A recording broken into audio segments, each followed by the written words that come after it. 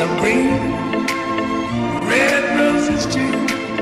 I see them bloom for me and you. And I think to myself, what a wonderful world.